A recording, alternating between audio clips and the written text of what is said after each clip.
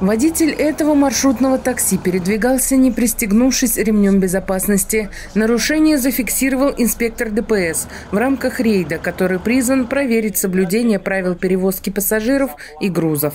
Инспекции подлежат не только личные автомобили, но и общественный транспорт. Расскажите, за что вас сегодня штрафовали-то?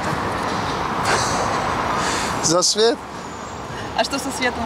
Ничего, все в порядке, я забыл включить. Просто, да, надо было ближний свет включить, но, видимо, забыл. Особое внимание дорожные полицейские уделяли техническому состоянию транспортных средств. Немаловажен и режим работы водителей, перевозящих пассажиров. Кроме того, инспекторы проверяли наличие диагностических карт и дату последнего техосмотра. Такая скрупулезность вовсе не прихоть, объясняют инспекторы. Неукоснительное соблюдение правил перевозок позволяет уменьшить тяжесть последствий при ДТП, а иногда и полностью их избежать. Сегодня э, несколько водителей привлечены к административной ответственности. В отношении водителей высены штрафы. Также будет проанализировано, э, не являются ли ответственны за допущенные нарушения должностные и юридические лица, эксплуатирующие данные транспортные средства.